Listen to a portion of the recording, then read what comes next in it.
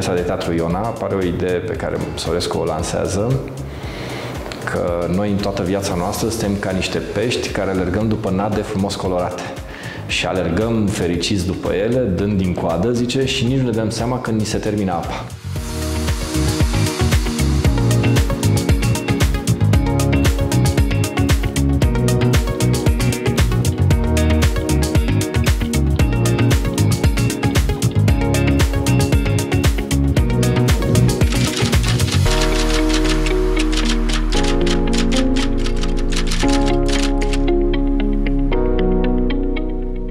Banca, evident, vine la poziția zero. Mie îmi place cum este. Cam asta ar fi ideea. Și atunci, eu, ca și conciliator, am situația între a obține ceva și a nu da nimic.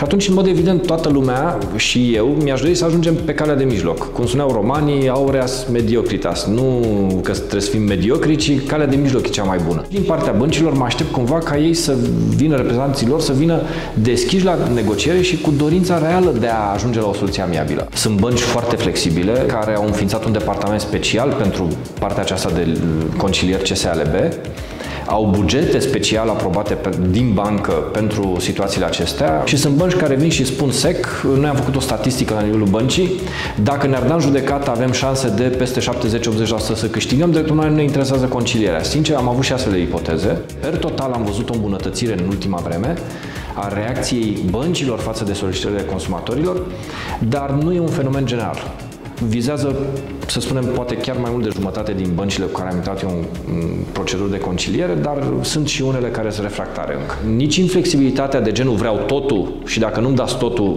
plec supărat, îmi tesc ușa, nici de la bancă, mie îmi place cum este, nu schimb nimic. Cu alte cuvinte, e imposibil o realizare a unei dorințe de a ajunge la împrumut cu dobândă zero.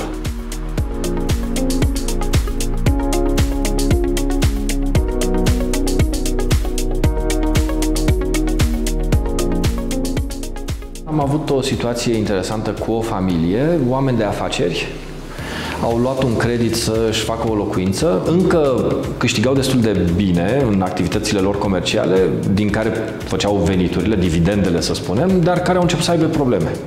Și am avut o relație foarte bună și deschisă cu banca, am recalculat niște comisarii din trecut, s-au rambursat, bine pe sold sau nu s-a dat nimic fizic din înțelegerea părților, s-au redus niște dobânzi, niște marje de dobândă. Poți să spui, doamne, oameni de afaceri, rece, calculat, fac profit, să plătească. Da?